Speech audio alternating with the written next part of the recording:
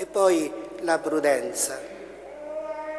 Nella vita spirituale i padri dello spirito, quante volte anche San Pio nella direzione delle anime, il dominio di sé, che è alla base di ogni percorso interiore, ma soprattutto su quell'invito di Gesù che eh, diceva ai suoi, guardatevi dal lievito dei farisei.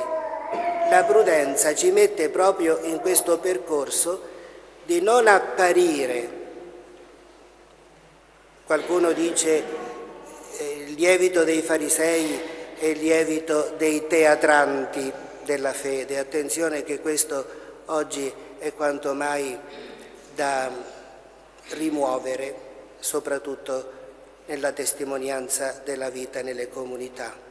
I teatranti della fede non abbiamo bisogno di fare teatro, ma inserisciti nel mistero di Dio attraverso, ripeto, la semplicità e anche la prudenza, come i serpenti, dirà Gesù. Maria ci aiuti nella fatica della fede perché la fede è dialogo, la fede è incontro, la fede è ascolto, la fede è intimità, la fede è guardare occhi negli occhi il mistero di Dio, questa è la fede. Come del resto la stessa cosa nella casa, nella famiglia.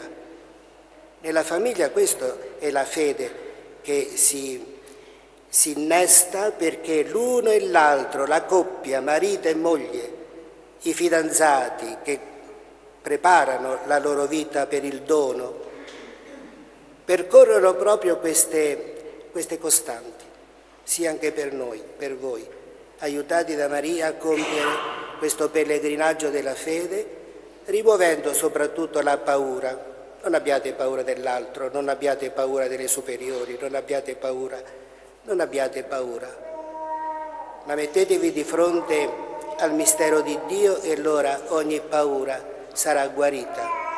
E Maria sia madre e maestra nel vostro percorso e soprattutto nello slancio del dono, non siate mai avare del donare la, propria, la vostra vita a Dio per il bene della umanità e della Chiesa.